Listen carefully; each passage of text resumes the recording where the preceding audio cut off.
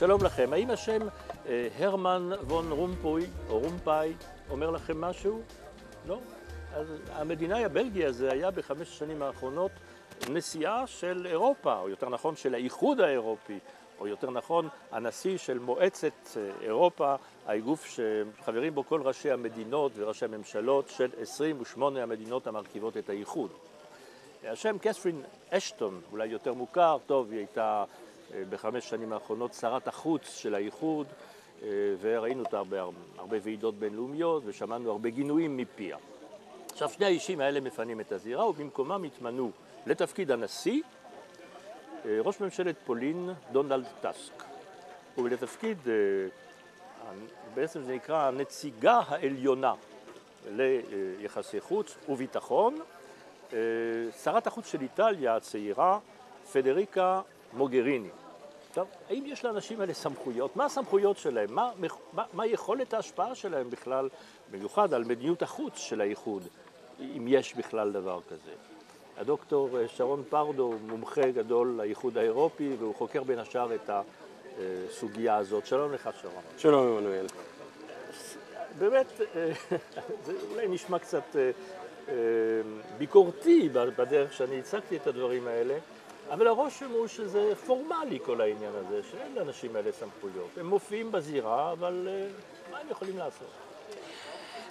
אני חושב שהמינויים הללו שאנחנו עדים להם והתפקידים הספציפיים האלה הם תפקידים בעלי משמעות אדירה בזירה הפנים-אירופית, בזירת אה, האינטגרציה האירופית, אה, והם בעלי משמעות מינימלית בזירה החוץ-אירופית.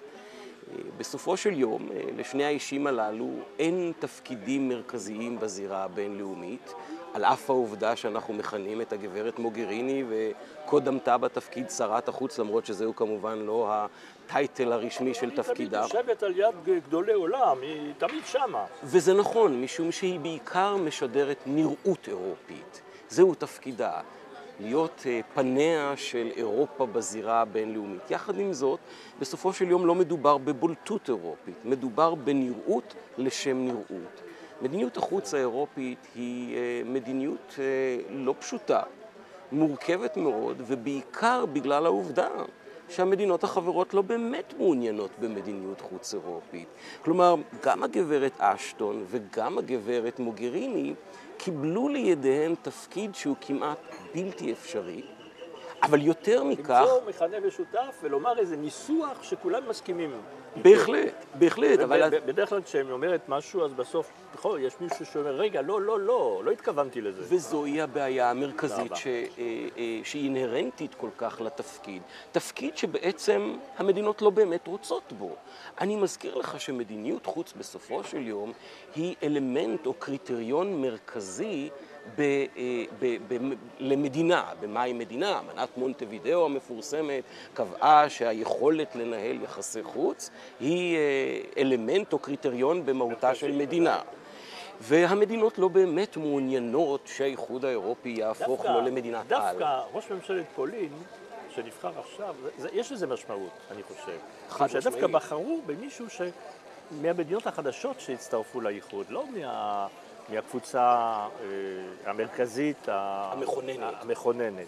ואחד שהוא בא ממדינה שבה הרצון להשתלב באירופה הוא אדיר, נכון? דווקא בחרו את הפולנים.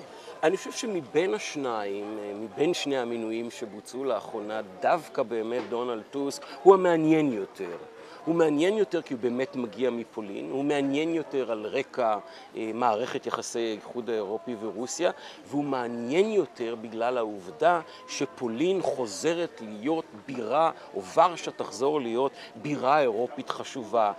למעשה אנחנו יכולים לומר שבמינויו של דונלד טוסק אנחנו נראה ביטול של אותו קיר מפורסם, אותה חומה מפורסמת בין מזרח למערב. יש פה אמירה חשובה עבור פרויקט האינטגרציה האירופית. אין עוד מדינות שהן ליגה א' ומדינות שהן ליגה ב', ויש לומר גם ליגה ג' עם הצטרפותן של רומניה ובולגריה ב-2007. למעשה החלוקה הזאת מסיימת את דרכה. מה הוא עושה, אותו נשיא, חוץ מזה שהוא יושב ראש? בסופו של יום אנחנו מדברים על תפקיד של יושב ראש ועדה. ועדה חשובה, ועדה בעלת אה, חברים שהם ראשי מדינות המילה, מרכזיות. כי המילה, כי המילה, אנחנו אומרים נשיא, אבל המילה בלועזית היא מילה אחת. president או président, president, זה אותו דבר, אותה מילה לנשיא וליושב ראש. חד משמעית. הוא בעצם יושב ראש יותר מנשיא. ובסופו של יום באמת דונלד טוסק הוא יושב ראש ועדה חשובה באירופה. אז כל השרים מתכנסים. לא השרים, ראשי המדינות ראשי במקרה. ראשי המדינות והממשלות מתכנסים, והוא מנהל את... לגבש מדיניות משותפת. אכן, אכן. והוא אמור להיות דמות קונסנסואלית, דמות שתוכל להביא ללכידות בין ראשי המדינות. אגב, כאן יש לומר, זהו היה ייחודו של הרמן ון רומפאי. פוליטיקאי בלגי, כדרכם של הבלגים, רגילים בקונצנזוס. הפוליטיקה הבלגית בנויה כל כולה על על, פשרות. כל, על פשרות וקונצנזוס בין הפלמים לבלונים, למיעוט דובר הגרמני וכו'. ובאמת בכך הרמן ון רומפאי עשה עבודה נהדרת.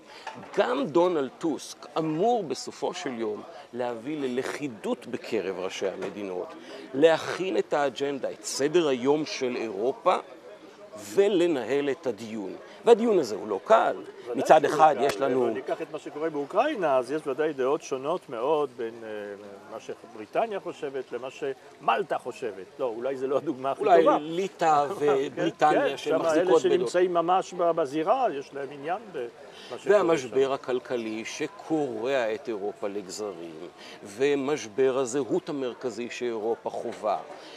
ותפקידו בסופו של יום הוא קודם כל להיות היושב ראש של הוועדה, אבל מעל הכל להיות הזיכרון המוסדי של הוועדה הזאת. אחת הבעיות המרכזיות זה הייתה... ניסוח יפה, אבל מה זה אומר, הזיכרון המוסדי? אחת הבעיות המרכזיות בתפקיד הייתה שבעבר התפקיד הזה מולא על ידי מדינות שהתחלפו כן, מדי שישה חודשים. אחר, מדי שישה חודשים הגיע נשיא חדש, ראש מדינה כזאת או אחרת, שקידם סדר יום אישי, אה, בדרך כלל לאומי מאוד, אה, ואירופה הייתה מעניינת כל פעם עבורו. נותנים למישהו אחר להיות... אה, בדיוק. כאן אנחנו בעצם רואים מישהו שבאופן קבוע עומד שנים, בתפקיד, חמש. שנתיים וחצי פלוס לא, שנים. אופציית הארכה ארבע, נוספת לשנתיים וחצי. אנחנו שומרים על זיכרון מוסדי, כפי שכיניתי זאת קודם לכן, והתפקיד גם אמור להיות פניה של אירופה בזירה הבינלאומית. אם לא, אנחנו... האם דונלד טוסק אה, יכול להופיע מול פוטין או מול אובמה כמייצגה של אירופה? בהחלט כן, אבל לא ראינו את זה אצל אה, ון רומפאי, לא ראינו את זה. ון רומפאי ישב בכל הישיבות המרכזיות הללו עם פוטין ועם אובמה, מה אובמה ופוטין חשבו על ון רומפאי זה סיפור אחר, אבל הוא בהחלט אמור להיות הכתובת, אותה כתובת מפורסמת כאשר... אבל פה אה, אתה רואה את הסתירה, זה ברור שראש ממשלת בריטניה, מה אכפת לו מהוון רומפאי? ראש ממשלת, נשיא צרפת, מה אכפת לו? זאת אומרת, הוא הנציג, הוא צריך, לדבר, הוא מדבר בשם צרפת, בשם בריטניה, בשם הגברת... אה, אה, אה, לידי הקנצ- אשטון. הקנצל- הקנצלרית מר- הגרמנית. מרקל. הגברת מרקל, כמובן, מה זה, לעומת העוצמה של גרמניה, מה זה משנה שאם יש או אם אין איזה יושב ראש כזה שפורמלית מייצג את האיחוד? אין לזה משמעות.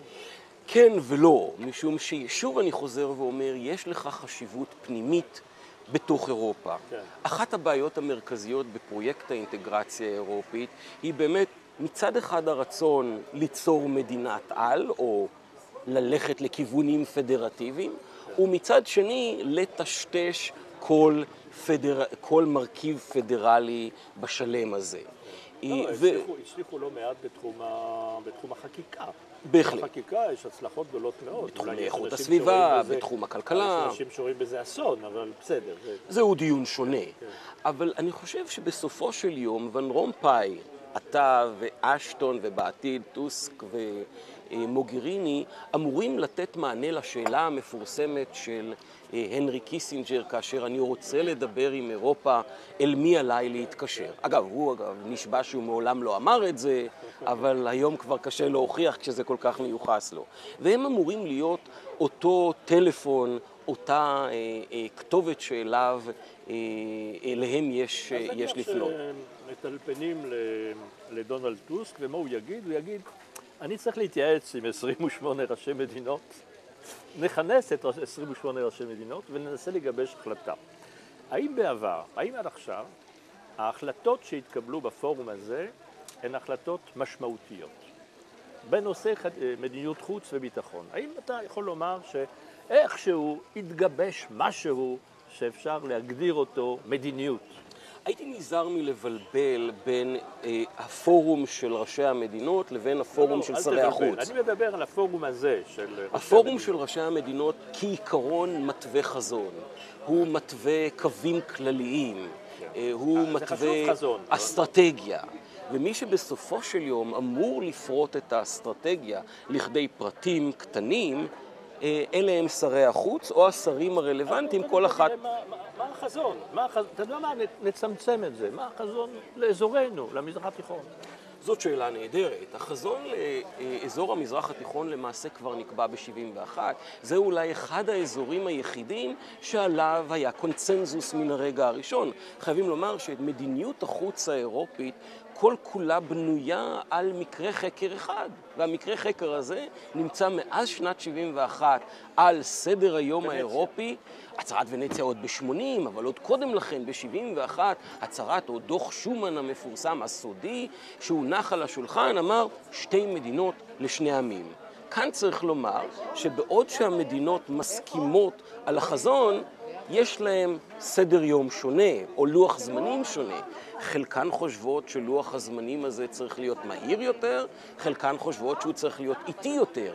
אבל יש בנושא המזרח תיכוני הסכמה מלאה של שתי מדינות לשני עמים. וכאן חייב... לא אומרים איפה שתי המדינות האלה. לא, לא, לא זהו חזון. כן. זהו חזון, אין פה הדברים... ויש מחלוקת לגבי הכיבוש, למשל, יש מדינות שאומרות שמדובר ב...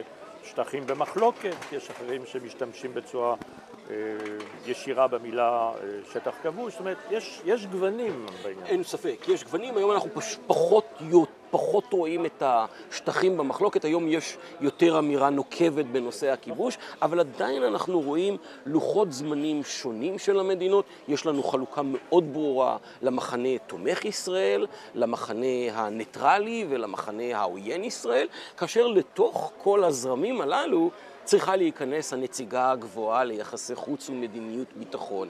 וזהו תפקיד לא קל, כאשר אתה בעצם צריך לשדר את המכנה המשותף הנמוך. ומהו המכנה המשותף? אז איך הגברת אשטון עשתה את זה בחמש שנים האחרונות? תראה, אני חושב שהגברת אשטון בסופו של יום ענתה על רף הציפיות שהוצב. אגב, צריך לומר, הדרישות... האירופי, האירופי. בהחלט.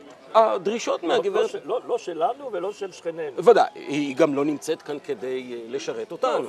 לא, אבל לפעמים אה, נוקטים צד.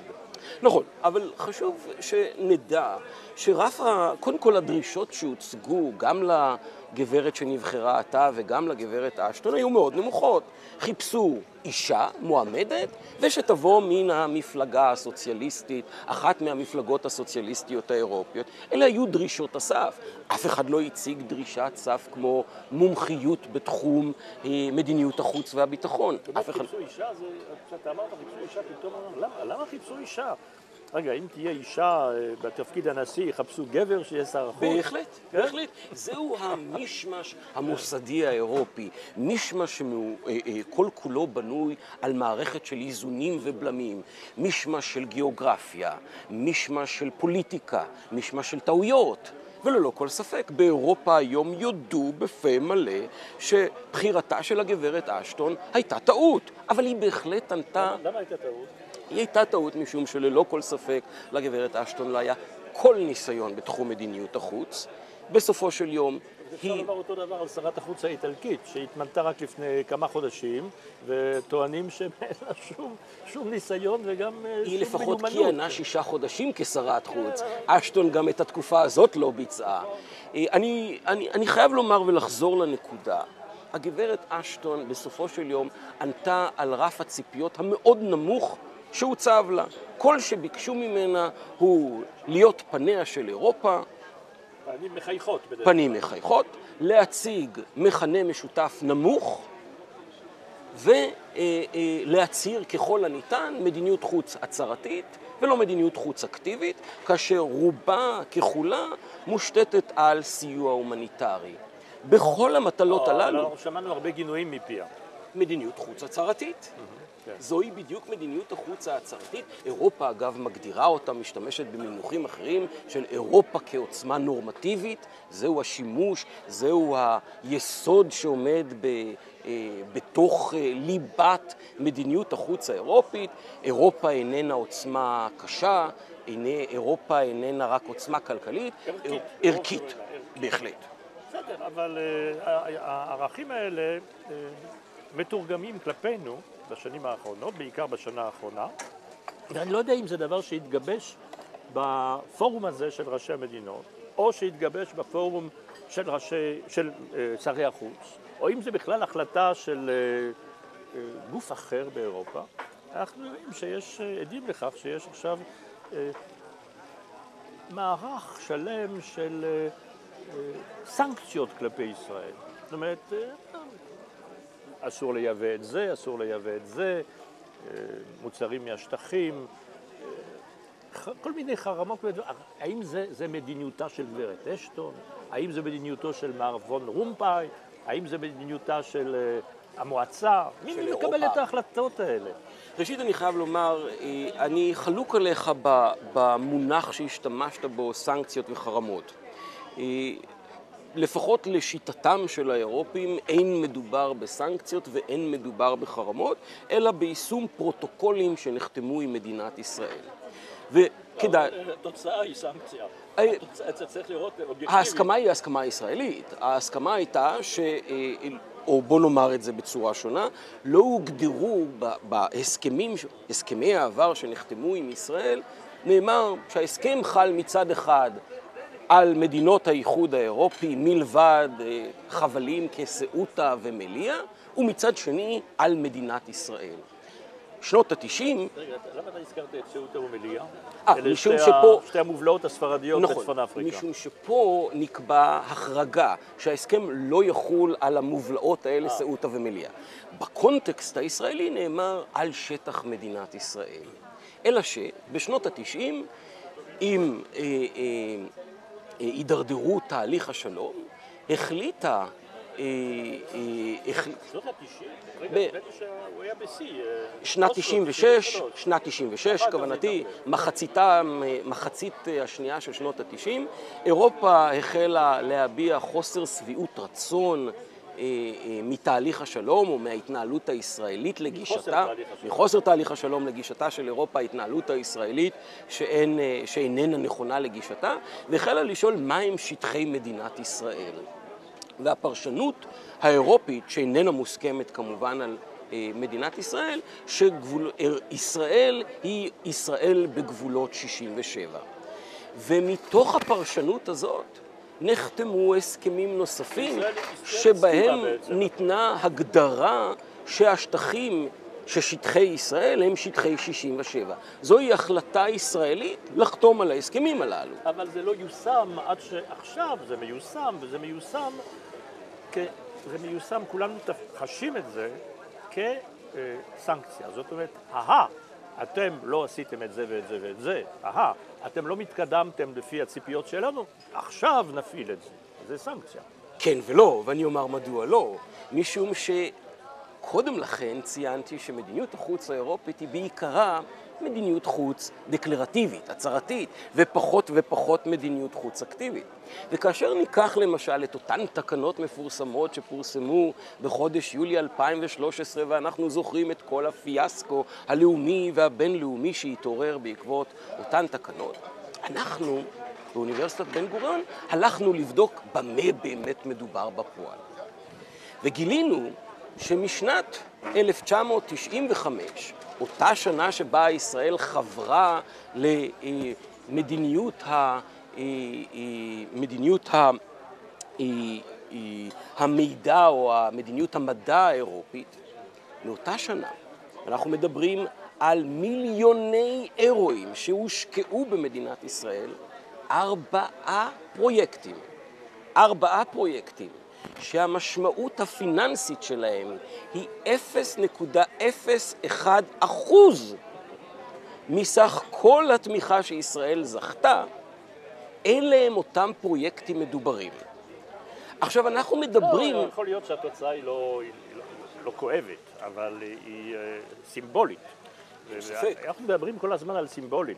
אנחנו ללא כל ספק מדברים על מדיניות חוץ סימבולית הצהרתית.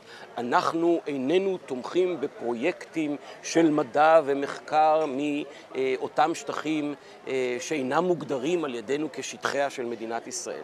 אבל בסופו של יום אין גם מוסדות שמגישים מאותם שטחים אה, בקשות לגרנטים מחקריים. אנחנו מדברים על ארבע מוסדות, על ארבעה פרויקטים כן, אבל יש מאז גם שנת העניין הזה של 95. היבוא מישראל. היבוא מישראל הוא סיפור שגם אותו קודם כל עדיין לא פתרו. ועדיין אנחנו רואים שכל פעם אנחנו רואים איזשהו, מוצאים איזה איזשהו... דרך עקיפה. הדרך היא איננה עקיפה, אלא משום שמדובר בסופו של יום בסמכויות של המדינות החברות, קשה מאוד לרמה הלאומית האירופית, כלומר, אם הפולנים רוצים לקנות אה, אין שום בעיה. פירות מהגולן, אז הם יעשו את זה ולא לא ישאלו אף אחד. ויותר מכך, בסופו של יום זוהי גם החלטה צרכנית. הצרכן הנבון יחליט האם הוא רוצה מוצר איכותי, או שחשוב לו צריך אישור יבוא, לא. אישורי היבוא קיימים, אין פה ביטול של היבוא, אלא מה שאומרת אירופה, אנחנו במקום להכניס את המוצרים הללו ללא מכסים, נכניס אותם עם מכסים. כאן אגב חשוב לציין שממשלות ישראל הקימו מנגנון פיצוי עבור אותם יבואנים או יצואנים במקרה שלנו. מה שאנחנו הלכנו ובדקנו וראינו שעם השנים לא נעשו תביעות של יצואנים ישראלים אל מנגנון הפיצוי. משום שגם היצואנים הישראלים מצאו דרכים לאכוף את אותן, מה שאתה מכנה סנקציות, מה שהאירופים מכנים אה, יישומו של ההסכם, והגינות יפה מאוד מצד החברות האלה, הם יכלו ליהנות משני עולמות, גם לקבל פיצוי וגם לי- לייצא בדרכים שלהם. אבל נחזור לעניין הזה של, ה, של הגוף הזה וה, וה, והתפקידים האלה, שני התפקידים המרכזיים האלה. האם התרשמת שבחמש השנים האחרונות התקדמו ולו צעד קטן אחד לקראת גיבוש מדיניות משותפת, אמירה משותפת, משהו שבאמת, אפשר לומר, זה קולה של אירופה. עמנואל, אתה תופתע מתשובתי, והיא חד משמעית כן. והיא חד משמעית כן, במיוחד בזירה של ון רומפאי, טוסק העתידי ומועצת אירופה. אירופה יודעת בימים אלה את אחד המשברים הקשים ביותר שהיא חוותה. וזהו המשבר הכלכלי. אני חייב לומר שאני באופן אישי חושב שלפתחה עומד משבר נוסף, והוא משבר הזהות האירופית. ההגירה. שהיא חלק בלתי נפרד מתוך סוגיית הזהות האירופית. אבל העובדה שאדם קונסנסואלי כהרמן ון רומפאי הצליח להושיב מעולם לא השמיעו את השם שלו כל כך הרבה פעמים בתוכנית טלוויזיה ישראלית. ללא כל ספק, ללא כל ספק. אגב, חייבים לומר, כאשר הוא נבחר, נבדק מיהו הרמן ון רומפאי ברשימת אה, 200 הבלגים החשובים בעולם. הוא היה ראש ממשלת בלגיה באותו זמן, והוא היה במקום ה-200. טינטין היה... נכנס, בסדר. טינטין היה הרבה מעליו.